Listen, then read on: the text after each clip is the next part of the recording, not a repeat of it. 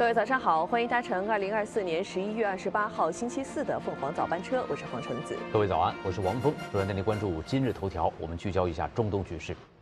以离停火协议二十七号生效之后第一天，黎巴嫩局势大致平静，显示出协议暂时得到了实施。不过双方都扬言，一旦受到攻击，将会毫不犹豫地反击。有分析指出，这次以离停火只是各方一个喘息的机会，并不是解决中东问题的办法。美国官员就透露，拜登政府正准备再向以色列出售新一批总值六点八亿美元的武器，包括数千枚联合直接攻击炸弹以及数百枚小口径炸弹。以色列与黎巴嫩真主党的停火协议生效后第一天，多辆以色列军车在以色列北部接壤黎巴嫩边境的地区巡逻。以色列表示。他们的军事目标是确保大约六万名以色列人安全返回北部的家园。他们过去一年因为真主党声援加沙的哈马斯武装组织，不断向以色列发射火箭，被迫逃离北部边境的社区。根据停火协议，真主党及所有离武装团体承诺不对以色列发动任何攻击，以色列则停止对离境内的军事打击。以军将在六十天内逐步撤出黎巴嫩南部，并就边界问题展开间接谈判，力求达成国际公认的边界划定。以色列总参谋长哈莱维表明，任何接近以方划定区域的以军士兵、边境地区及以色列居民村落的真主党武装人员均会被枪击。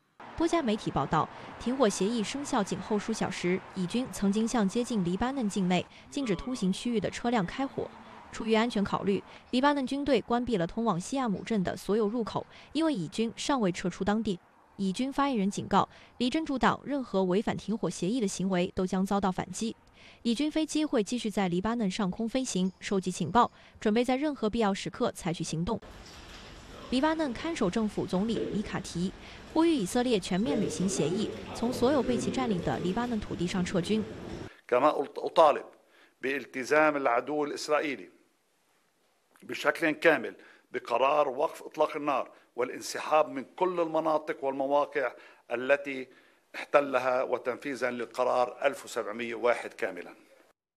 黎巴嫩军队则增派军队到南部维持治安。根据停火协议，黎巴嫩军队和国内安全部队被授权在黎南部携带武器或部署部队，确保停火得以实施。黎真主党发布被认为是停火协议生效后的首份声明，强调会继续做好准备应对以色列的袭击，同时关注以方在边界以外的行动和撤退，捍卫黎巴嫩的主权。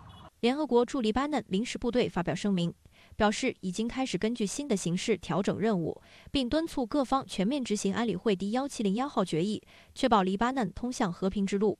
凤凰卫视综合报道。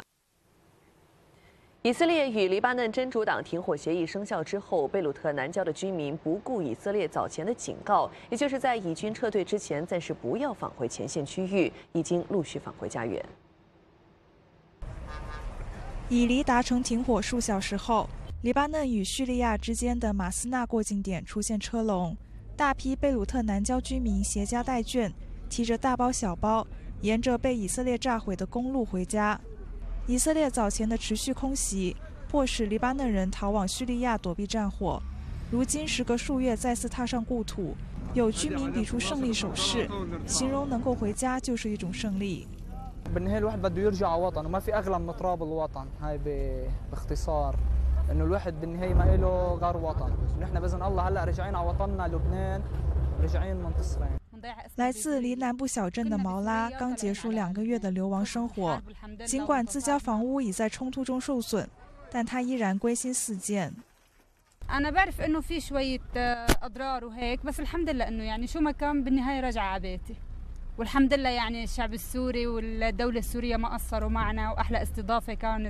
بالنهاية رجع على بيتي 据黎巴嫩政府统计，这场冲突已造成近一百二十万人流离失所。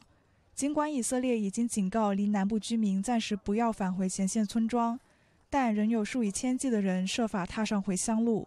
凤凰卫视综合报道。 以色列民众对于以黎政府之间的停火协议如何看待呢？来看前方记者所发回的报道。二十六日晚，在美国斡旋下，以黎达成停火协议。黎巴嫩南部撤离民众开始大量返回家园。对于黎南部以军仍驻守的城镇，以军对尝试进入的带有珍珠党标识的车辆鸣枪示警。双方并未发生交火。以色列政府表示，停火成功孤立哈马斯，对人质谈判有帮助。有以色列民众期待能够通过谈判带回加沙的人质，结束战争。Obviously, I want peace. I want peace. In the north, I want peace in the south. It's a bit strange how it came through very quickly, and uh, I hope uh, it will stand. It's a challenge, but uh, I hope it will be uh, the first, and then we will deal with the south. We have to deal with the south, and uh, we want the hostages back. And if they did it in the north, maybe I hope we can do it in the south. 根据停火协议，黎巴嫩政府将在利塔尼河以南部署约五千人。黎巴嫩国防部长表示，派遣人数会提升至约一万人。以色列在补充协议中获得可以在真主党违反停火或重新武装时直接对其打击的权利。有以色列的学生们向本台表示，几乎家家都有亲友在前线服役，他们期待与真主党以外的黎巴嫩政府和人民和平相处。It's great. Um, Lebanese people should have the right to self-determination in their own land. Um, Hezbollah should go back to um, the 1701 uh, resolution should take place in Lebanon now.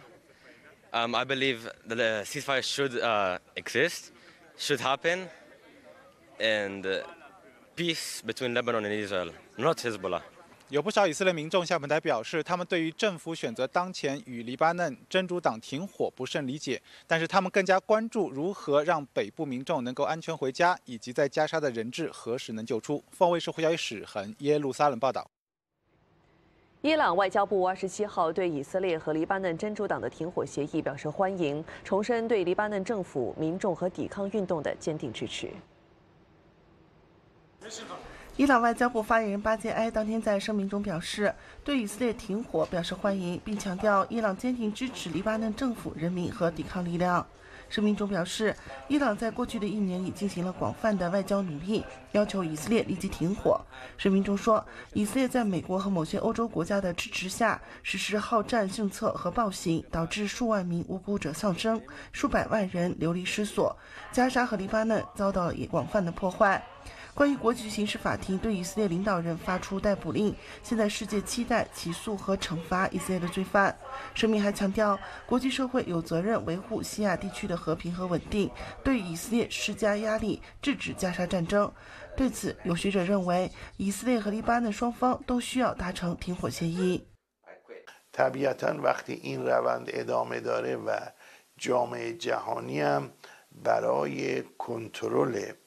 ناتانیاهو به خاطر حمایت آمریکا کاری نمی‌کنه. پس لبنان هم مجبوره که در واقع به آتش بستن در بده و در واقع یه مقدار مردم لبنان مردم جنوب لبنان رو و مردم جنوب بیروت رو در واقع راحت بکنه از این جنگ و آوارگی و تخریب خانه 学者认为，随着美国当选总统特朗普上台，以色列也将在加沙停火。但是与以黎停火不同，以色列不会从加沙撤军。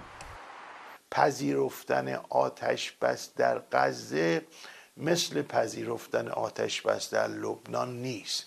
در لبنان نیروهای اسرائیلی فقط در کنار مرز حضور دارند. اما در غزه در کل غزه حضور دارند. لذا آتش بس در غزه معنیش این نیست که نیروهای اسرائیلی از غزه بیرون برن آتش بس ممکنه اعلام بشه اما اسرائیل و نیروهاش در غزه خواهند ماند 据介绍，当地时间十一月二十七日凌晨四时，离以停火协议正式生效。以色列安全内阁十一月二十六号晚举行会议，批准了与黎巴嫩真主党的停火协议。 凤凰卫视李约哲、卡穆森德海兰报道。针对与黎达成的停火协议，有黎巴嫩的学者指出，以色列并没有能够达到其设定的大部分目标，已经不得不同意和黎方达成停火协议。来看本台驻大马士革记者发回来的报道。在交火和互相袭击大约十四个月之后，在美国和法国的斡旋下，以色列与黎巴嫩达成了一项停火协议。这项协议的最主要条款包括：真主党的武装力量和武器撤退到利塔尼河以北，从而只有利军队来控制和管理利塔尼河以南的地区。有理学者相信，这项停火协议的最主要优点是让一百多万平民返回家园。فقط في منطقة جنوب الليطانة الذي لن يكون إلا في أيدي أمينة في أيدي الجيش اللبناني. النقاط الإيجابية فيه كثيرة وأهمها إنهاء ملف النزوح الذي أرادت من ورائه إسرائيل الدفع بكم هائل من المواطنين اللبنانيين من أماكن سكناهم في الجنوب والبقاع والضاحية الجنوبية إلى داخل الحواضن والمكونات اللبنانية بقصد إشعال التناقضات وإشعال صراع لبناني داخلي. اثنين هذا الاتفاق أسقط العناوين السياسية للحرب التي أطلقها نتنياهو في بداياتها من قبيل صوغ شرق أوسط جديد سحق المقاومة في لبنان 有黎巴嫩战略学者指出，在未能够实现以色列领导人在战争开始时所设定的一些政治和军事目标之后，以色列被迫与立方达成第一项停火协议，因此这也算是以色列的失败。 هذا العدو لم يعد يثق بنفسه أمام المقاومة في لبنان وهو بالتالي نستطيع القول أنه انهزم أمام المقاومة اللبنانية لأنه كان يريد أن يصل إلى الليطاني وما وصل. كانت الدولة الأمريكية تريد أن تفرض شروطا على أن الكيان الصهيوني يستطيع أن يتدخل ساعة يشاء وفشل في ذلك. الشعب اللبناني سينعم فعلا بإعادة الإعمار وبالعودة مرفوع الرأس في أرضه كل أرضه من الحدود مع فلسطين وصولا إلى شمال لبنان حيث حاول العدو فعليا أن يضرب البيئة الاجتماعية للمقاومة ولكنه ما استطاع.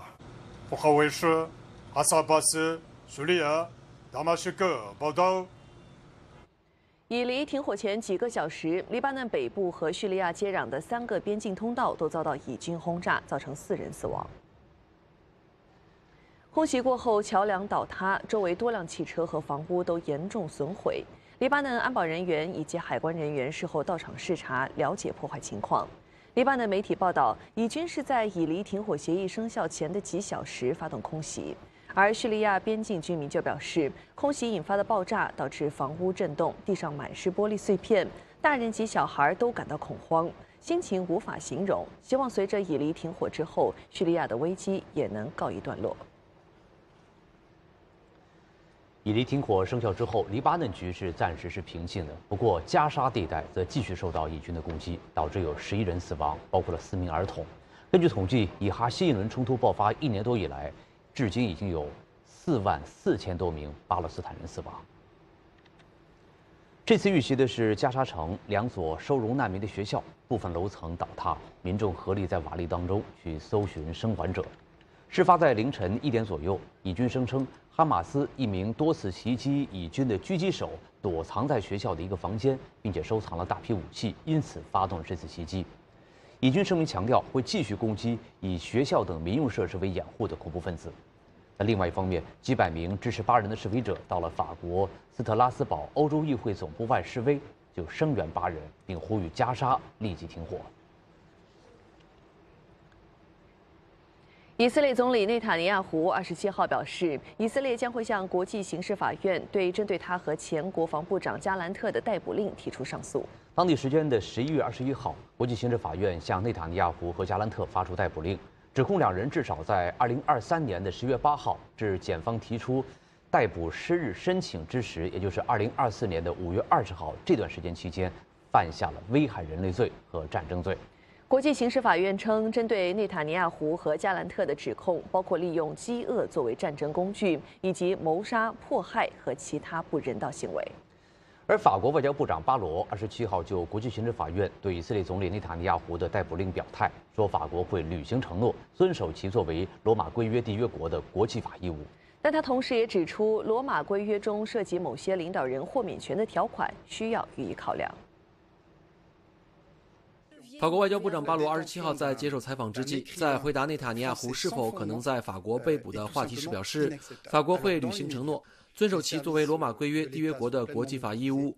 但他同时也强调，罗马规约中涉及某些领导人豁免权的条款需要予以考量。La France appliquera comme toujours le droit international qui repose sur ses obligations vis-à-vis à coopérer avec la Cour pénale internationale, obligations vis-à-vis de son adhésion au statut de Rome qui prévoit les, les, et qui traite des questions d'immunité sur certains dirigeants.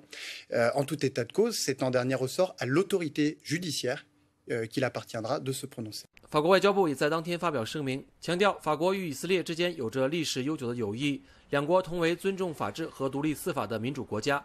法国希望继续同内塔尼亚胡总理以及以色列其他当局密切合作，以实现中东地区和平与安全，为所有人创造稳定的未来。凤凰卫视金亮巴黎报道。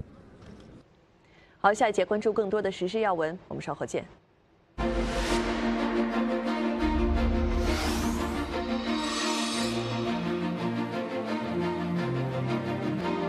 欢迎回来，继续来关注到俄罗斯总统普京二十七号访问哈萨克斯坦，在首都阿斯塔纳同哈萨克斯坦总统托卡耶夫举行会谈，双方签署关于深化战略伙伴关系的联合声明，推动更多使用本国货币交易以及加强能源合作。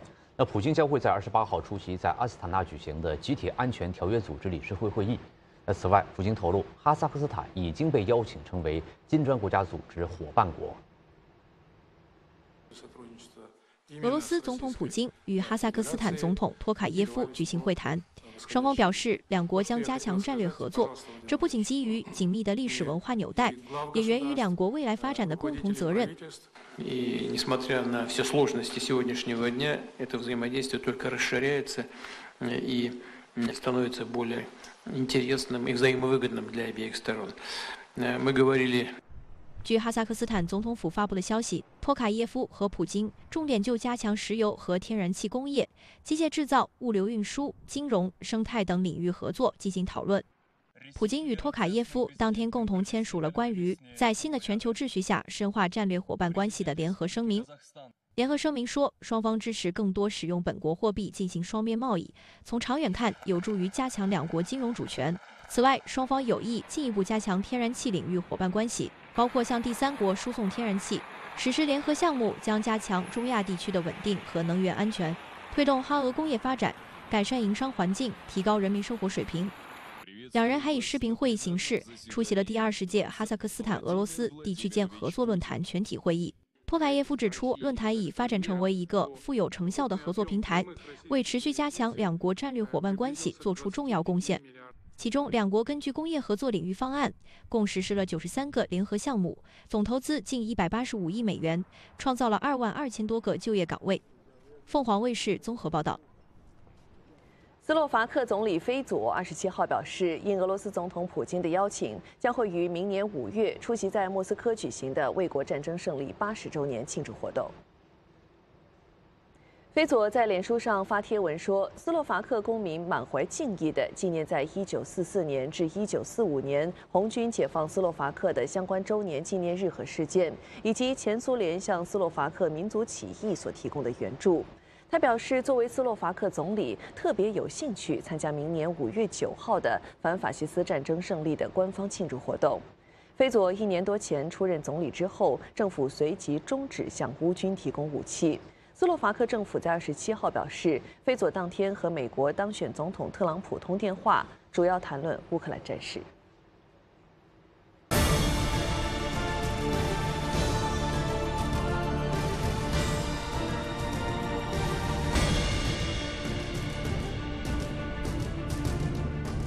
俄军在顿涅茨克地区加速向前推进，过去一周占领了乌克兰近两百三十五平方公里，这也是二零二四年一周之内创纪录的进展。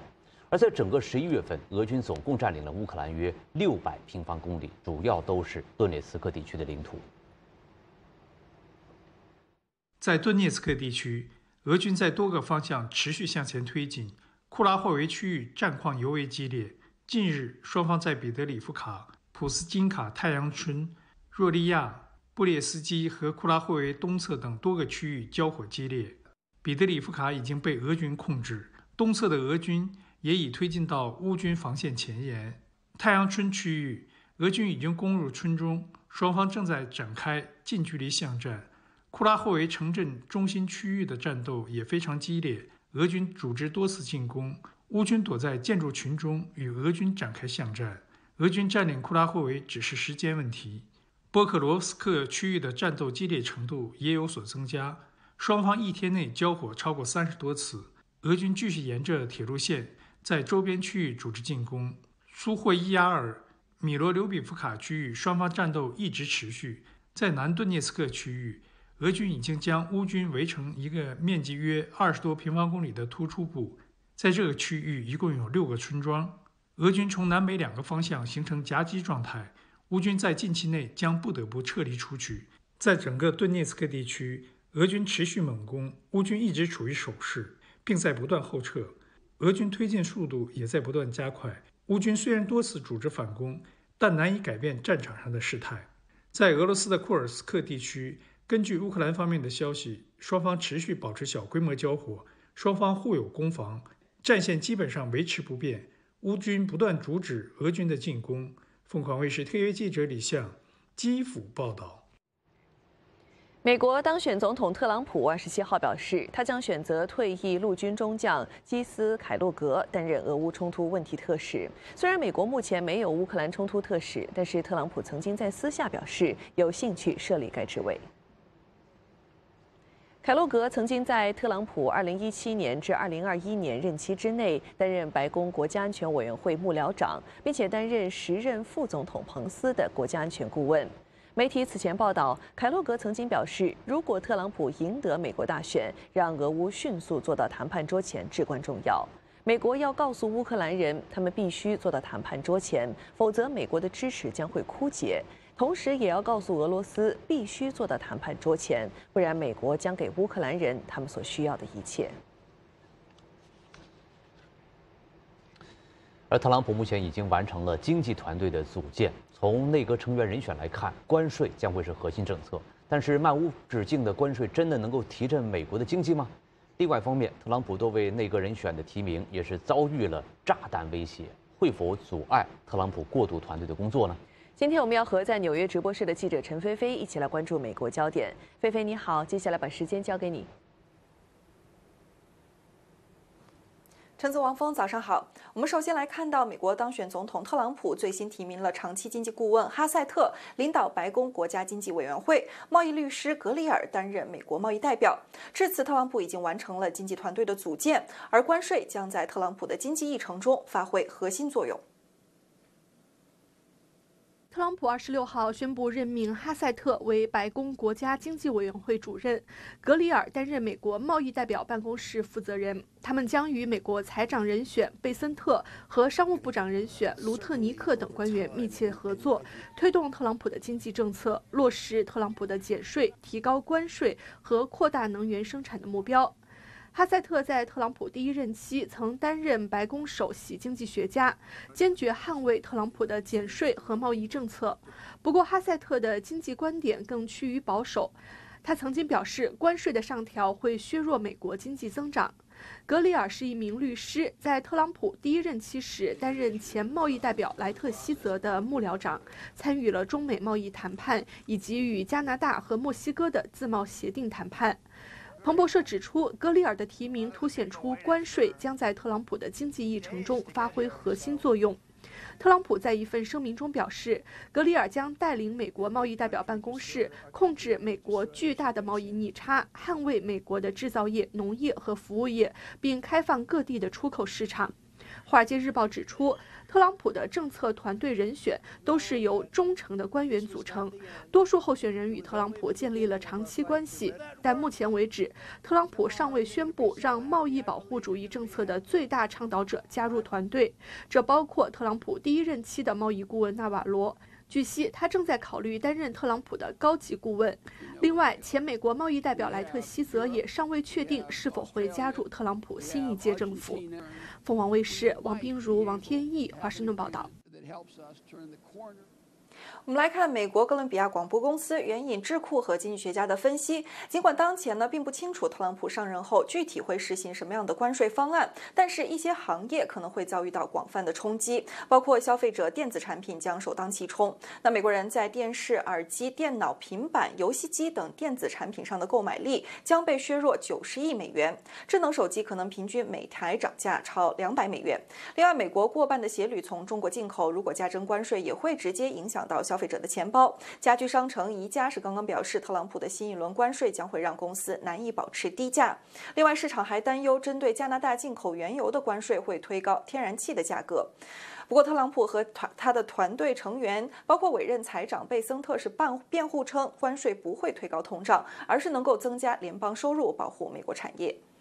我们再来关注到，特朗普过渡团队周三表示，特朗普提名的一些重要内阁人选是遭遇了炸弹威胁和恶意报假警、引导特警行动的啊这样的一些威胁。联邦调查局 FBI 称正在进行调查中，其中包括特朗普委派的美国驻联合国大使斯凡斯特凡尼、环环保署署长提名人泽尔丁，以及特朗普最初的司法部长提名人盖茨。那其中，泽尔丁收到的炸弹威胁是包括了亲巴勒斯坦的信息。另外，FBI 还在调查白宫幕僚长提名人选威尔斯等人是否也是受害者。白宫发言人表示，总统拜登当前也在保持密切监测，并且强烈谴责政治暴力威胁。以上就是美国媒体的一些关注焦点，把现场交还给你们，陈子王峰。好的，谢谢菲菲，我们带来了最新介绍。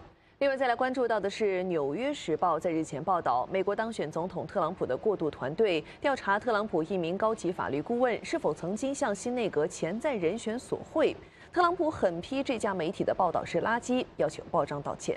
而特朗普之子小唐纳德·特朗普日前就透露，特朗普已经和团队讨论，在上任之后是否会取消部分美国主流媒体进入白宫简报室的资格，并且会邀请更多的独立媒体人进入白宫。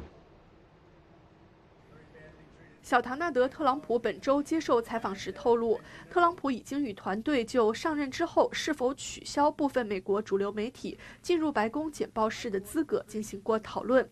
小特朗普称，如果《纽约时报》虚假报道反对共和党的一切，《纽约时报》就是民主党的营销部门，那么白宫简报室应该向拥有更多观众和追随者的媒体人开放。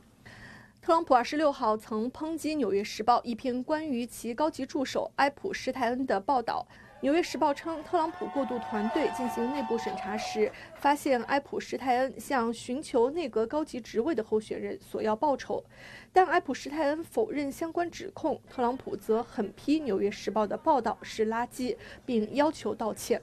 特朗普第一任期时就与美国主流媒体关系紧张，除了在公开场合发生争论，特朗普曾吊销多位美国主流媒体记者的白宫证件。CNN 曾经在2018年起诉特朗普政府的行为，并获得了法律胜利。时隔四年后，特朗普与美国主流媒体的紧张关系并没有任何缓解的迹象。小特朗普透露，即将上任的白宫新闻秘书莱维特正在审查白宫简报室的媒体座位表，也许是时候重新排序，取消某些人的座位。小特朗普称，特朗普考虑邀请的媒体人包括播客主持人，比如在大选前对特朗普进行了长达三个小时采访的乔·罗根。他对特朗普的采访吸引了超过五千多万观众收看，远超美国主流媒体收视率。凤凰卫视王冰如、王天翼华盛顿报道。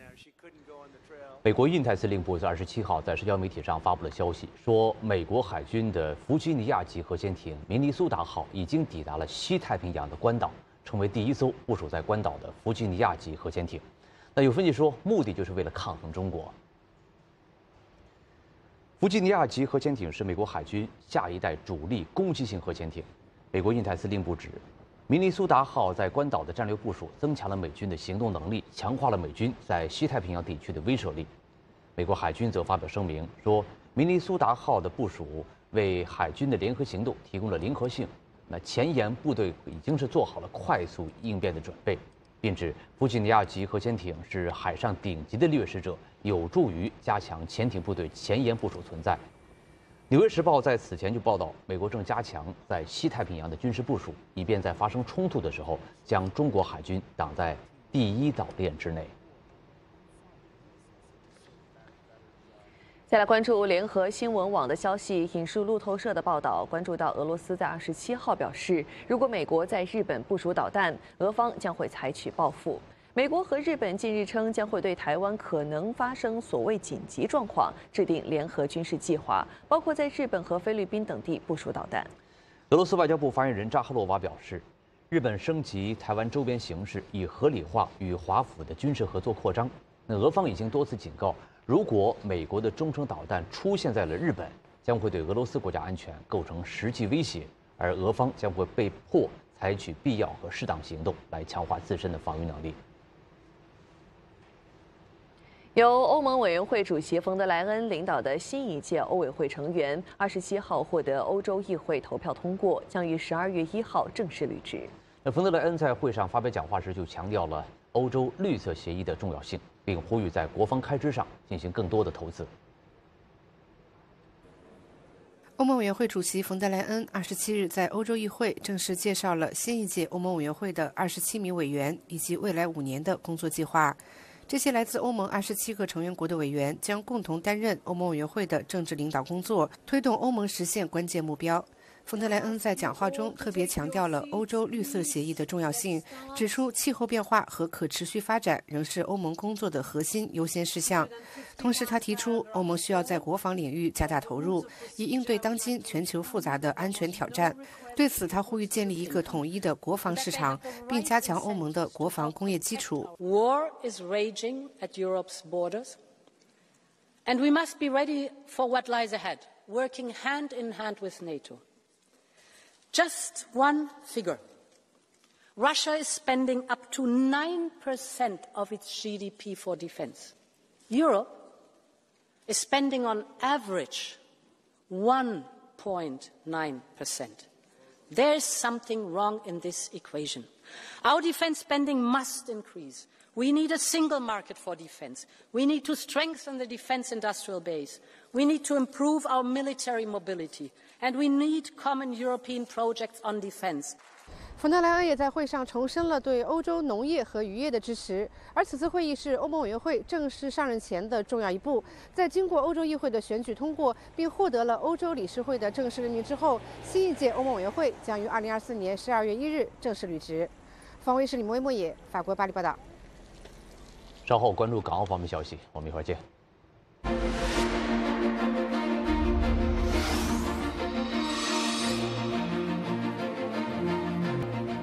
欢迎回来，继续来关注香港政务司司长陈国基率领的特区政府及工商界高层代表团最后一天考察大湾区内地城市，到访惠州和深圳。香港政务司司长陈国基一行二十七号先在惠州参观，考察当地中韩合作的产业园项目，了解新能源高端制造等发展情况。代表团当天下午转往深圳参观比亚迪和深汕合作区，并参加交流会。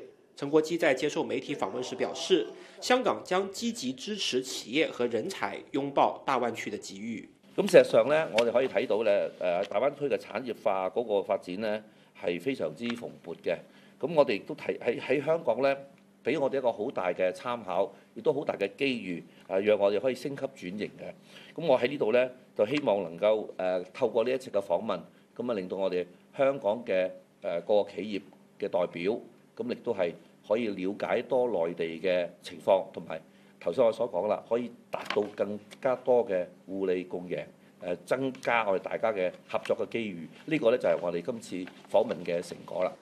有消息指，香港特区政府十一月二十九号将邀请包括本港、内地以及外资代表进一步了解北部都会区整体规划。陈国基就说，目前具体的安排仍在筹划中，而过去几天在大湾区的考察，相信工商界也对片区开发有更多认识。北部都會區係一個新發展嘅誒項目啦。咁我哋呢方面咧，我哋都係希望喺呢個誒新質生產力係要高誒走科技嘅。咁我哋呢方面咧係對於我哋嚟講，我覺得係一個好大嘅一個參考，一個借鏡。因為佢哋發展得嚟有好多部分好多部分嘅誒片區咧，都係非常之成熟，而且係好成功。咁當然對於我哋商界嚟講，亦都個好好嘅一個借鏡。咁佢哋喺入邊咧可以睇到究竟我哋同呢啲大灣區嘅城市有啲乜嘢嘅合作機會咧？咁多嘅城市。嘅將來嘅規劃係點樣？新嘅片區點樣做法、科技點樣做法呢，佢哋都有個誒深入嘅了解。有代表团成员就表示，三天嘅行程有助于香港商界进一步了解大湾区不同片区嘅发展方向，来制定差异化的战略，与内地共同拓展海外市场。凤凰卫视陈伟希、李庭生深圳报道。香港历时八年建成的国际机场三跑系统在今天正式启用。它不仅将会使香港成为更强的国际航空枢纽，也将为全球航空和物流界带来庞大商机。三条跑道全面运作，那将会扩大机场的航空交通网络，并将达到处理1.2亿人次客运量以及一千万公吨货运量的目标。一起了解一下这个斥资一千多亿港元所打造的庞大系统。香港国际机场连接内地以至世界各国的门户，坐拥航空界领先优势。但全球航空业版图快速变迁，面对日趋激烈的区域竞争，要想更上一层楼，应对未来航空交通量增长，巩固国际航空枢纽地位，就必须提升客货运处理能力。二零一一年公共咨询，二零一六年工程启动，二零二四年的今天，这项耗资一千四百一十五亿港元的庞大工程——香港国际机场三跑道系统正式启用。这个超大项目几乎相当于在现有机场旁新建一个新的机场。先是填海拓地六百五十公顷，大约相当于三十四个维多利亚公园或者一百个香港会议展览中心新翼人工岛的面积。新建 T 二客运廊及停机坪，外加一条全长三千八百米的跑道以及相关滑行道系统。此外，还有扩建二号客运大楼，新建全长两千六百米的旅客捷运系统，每小时可接载超一千人次乘客。新建新行李处理系统，每小时可处理九千六百件行李。整个系统投入运行，香港国际机场从城市机场变成机场城市的梦想将更快照进现实。二零一七年，国家领导人视察三跑工程进展，表示中央支持三跑建设，支持香港巩固国际航空交通枢纽地位。二零二二年，香港第三条跑道正式启用，两年后的今天，整个系统正式启用。连同现实正在运作的南北跑道以及完成编配工作的中跑道，三条跑道同时运作。预计到二零三五年起，这里将达到处理每年一点二亿人次旅客、一千万公吨货物的目标。长远飞机升降量可由现时每小时六十九架逐步增至一百零二架次。而根据早前预计，到二零三零年，三跑道系统将对香港本地生产总值的直接、间接及连带贡献价值达到一千八百四十亿港元，相比只有双跑道多出五百一十亿港元，这相当于香港本地一年生产总值的百分之五。港府表示，三跑道系统的全面启用标志机场发展的新里程碑，它不仅将进一步增强香港的竞争力，更将令粤港澳大湾区联通国际的能力大大提升。联谊，凤凰卫视赵龙香港报道。再来关注澳门司法警察局二十七号举行年度谈判演习，以强化应对危机能力和政府部门之间的协调能力，为应对突发事件做好准备。居安思危危机谈判演习模拟发生在路环珠湾青年旅社的一宗入室盗窃案，司警接报后迅速到场。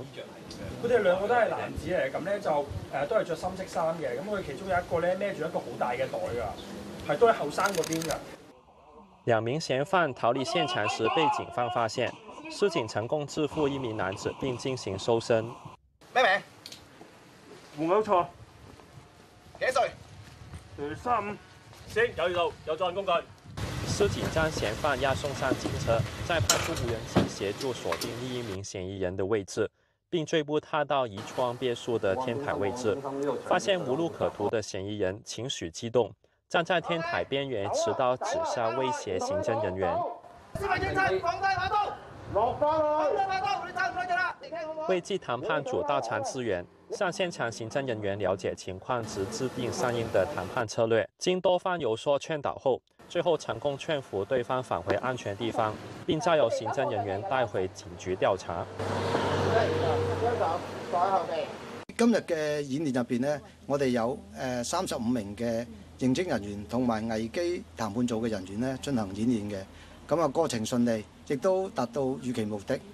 咁我哋誒透過今次演練咧，司警局咧可以進一步咁樣咧優化同埋完善咧我相關嘅工作流程，同埋亦都可以促進咧我哋危機談判組同埋認證部門之間嘅協作同埋溝通嘅。司警局表示，目前危機談判組人員有五十七名成員。工作内容主要是参与跨部门的受地和清迁行动。局方每年都会举行危机谈判演习，旨在能快速展开谈判工作，应对和平解决事件，减少人命伤亡和财产损失。澳门十二月在举行庆祝澳门回归祖国二十五周年等多项重要活动。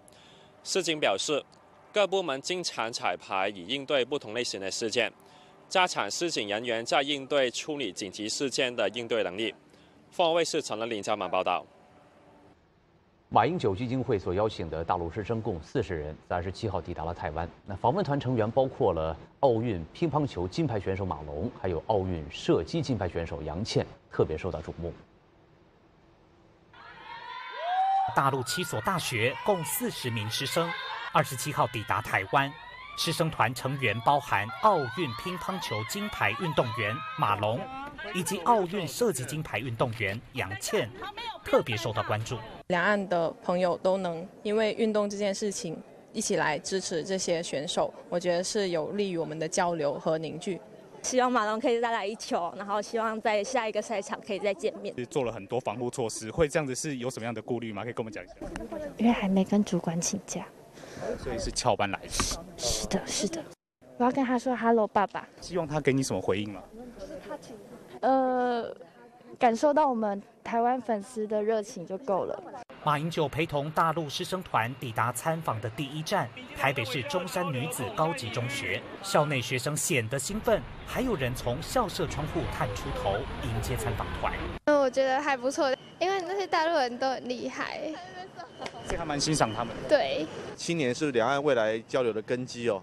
那高中生很快就会成长，念大学。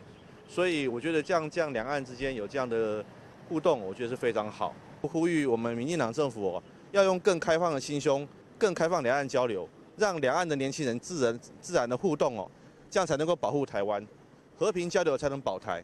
大陆师生团九天八夜的行程将陆续到台湾大学、清华大学等六所台湾的大学，与台湾青年交流，并参访企业、淡水古籍博物馆、南投日月潭等景点。深入了解台湾，大陆师生受到马英九基金会的邀请来到台湾，受到台湾产官学界的高度欢迎，认为透过双方的互相接触、互相认识，更能增进两岸的正向交流。凤凰卫视蓝镜图柯志强桃园报道。第二届中国国际供应链博览会国际化水平更高，境外参展商占比从首届的百分之二十六上升到百分之三十二。多家世界五百强企业在接受本台采访时表示，对于中国市场寄予期望，未来将会继续投资中国。第二届联博会共有六百二十多家企业、机构和国际组织参展，境外参展商占比从首届的百分之二十六上升到百分之三十二。有参展的世界五百强企业表示，中国人工智能等新兴产业发展具有活力，愿在这些领域继续投资中国。数据也显示，今年前十个月，内地实际使用外资同比下降百分之二十九点八，但在高技术制造业实际使用外资八百零一点八亿元，同比增长百分之零点七。未来，因为有这么大的市场，因为它已经是全球最最大的 AI 市场了，所以我们对于这个市场寄予很高的这个期望。我们会导入惠普会持续进行研发，我们会把最新的 AI 技术引入中国。我们会把本土的、本地的这些啊有实力的 AI 的啊软硬件开发商一起结合起来，做一个有机的整合，目的就是为了帮助中国的企业、制造业以及各行各业利用好 AI 的能力，我们发展新质生产力，把整个呃中国的这个未来的这个呃企业环境、商业环境，甚至未来的这些呃人民的生活发展运营的更加美好。而关于外资正在逃离中国的论调，另一家参展的世界五百强企业也回应表示，由于全球经济增速放缓、中国本土企业实力增强等原因，部分外资在华经营面临挑战。但中国市场需求强劲，政府给予外资足够的政策支持，没有理由不继续投资中国。我们在新冠前在中国投资，新冠期间每年在中国投资，新冠都结束了。为什么不投资了呢？为什么就没信心了呢？现在中国经济面临了一些挑战，哪个国家经济没有发展？像中国这么大体量的经济体，GDP 增长最快的在中国。如果按全球 GDP 前几个位的国家来看，中国不是排第一就是排第二，怎么就是我们就要撤离了呢？还是有很多机会，只是现在躺着不能赢了，需要努力，需要创新，需要改革。不仅市场要变，我们企业也要变。霍尼沃就是在这个过程当中，不断在提升自己，来符合市场的变化和客户的要求。自十一月一号起，新版全国外资准入负面清单正式实施，限制措施由三十一条压减至二十九条，制造业领域清零。中方表示，正在推动电信、互联网、教育、文化、医疗等领域有序扩大开放，重点引导外资投向服务领域。凤凰卫视周伟涵、赵伟，北京报道。下一节关注财经消息，稍后见。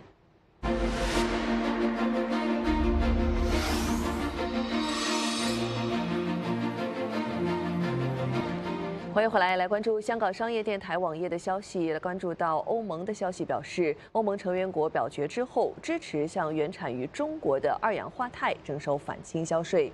表决获十五个成员国的支持，八国反对，另外有四国弃权。而欧盟在七月时已经做出了出彩，建议的临时反倾销税率由百分之十四点四到百分之三十九点七。将会由最终关税取代，估计税率会较低，预计明年的一月十一号起生效，为期五年。二氧化钛是一种无机白色的颜料，除了用作油漆、化妆品增白剂，还可以用作食品添加剂。欧盟声称，中国所生产的二氧化钛在欧洲的市场占有率增加到百分之二十二，削弱了欧洲生产商的盈利能力。美国股市三大指数在感恩节假期前先高后跌。十月份的消费通胀略高于预期，但是市场对于美联储降息预期仍然谨慎。来看具体数字，道琼斯工业指数收报四万四千七百二十二点，跌一百三十八点，跌幅是百分之零点三一。纳斯达克指数收报一万九千零六十点，跌一百一十五点，跌幅是百分之零点六。标普百指数收报五千九百九十八点，跌二十二点，跌幅是百分之零点三八。详情我们请驻纽约记者陈菲菲为大家做总结。感恩节前最后一个交易日，美股交投清淡，华尔街三大股指最终是小幅收跌。那其中标普百指数终止七连阳，滑落到了六千点大关的下方。部分大型科技股出现获利回吐的现象，包括微软、英伟达、特斯拉均跌超百分之一。费城半导体指数收跌百分之一点五。另外一些老牌个人电脑公司股价受到财报冲击，戴尔收跌百分之十二。另外惠普也跌超百分之十。两家公司都是发布了疲弱的盈利指引时，影响到了股价。另外一方面，投资者也在消化刚刚出炉的啊关键通胀指标，基本上是没有改变投资者此前对于美联储的一个降息预期。我们看到，呃，消费者支出价格指数 PCE 在十月同比上涨百分之二点三，虽然说是略高于九月份百分之二点一的同比涨幅，但是呢，仍然是符合经济学家此前的预期。去除掉波动比较大的食品和能源之后的核心 PCE 啊，同比涨幅、环比涨幅也都符合市场预期。那期货工具就显示，啊，当前仍然有百分之六十六的投资者压住联储十二二月会再降息二十五个基点。板块方面，我们看到十一大板块当中，以科技板块领跌，而房地产板块是领涨。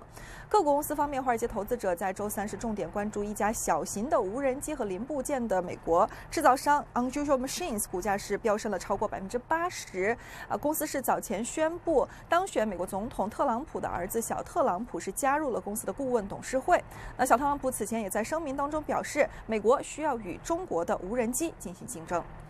其他资产方面，国际原油的价格是接近持平，市场关注以离停火。布伦特原油收至每桶七十三美元，德州轻铁油收于每桶六十九美元左右。而黄金期货的价格是上涨百分之零点六，至每盎司两千六百三十七美元。凤凰卫视陈菲菲纽约报道。稍后我们关注更多的时事要闻，一会儿见。